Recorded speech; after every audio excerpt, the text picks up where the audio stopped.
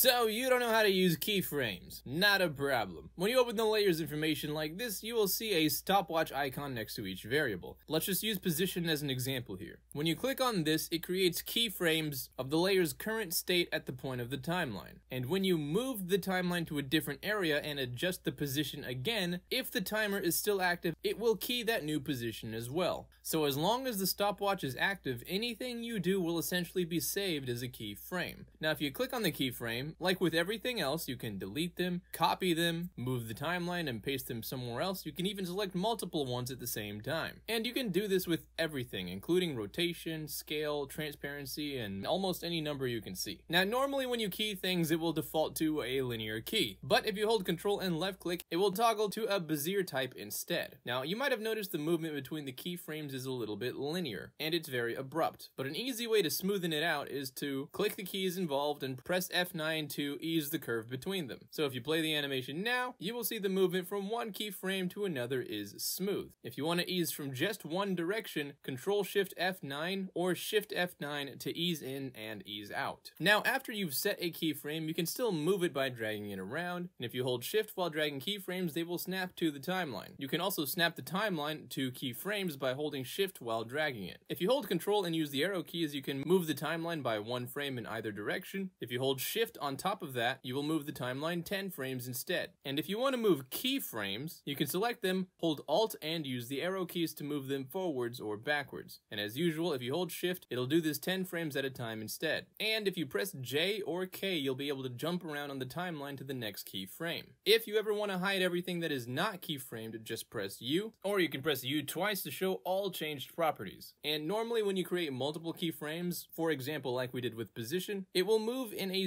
fashion from point A to point B and point C. But if you hold Control, Alt, and left click drag one of these points, you will create a Bezier curve and be able to round out the movement path to something a little prettier. If you want to move things exactly, you can press Control R to bring up a ruler. Then you can drag them out like so to see straight edges for precision movement. And if you ever want to get rid of these guidelines, just press Control semicolon. If you have a lot of layers and you want to know exactly where the one you've selected is, if you've clicked it, press the X key and it will be highlighted in the layers. So those are the timeline commands that I have found to be the most useful. Hope that helps, and as always, hope you have a fantastic day, and I'll see you around.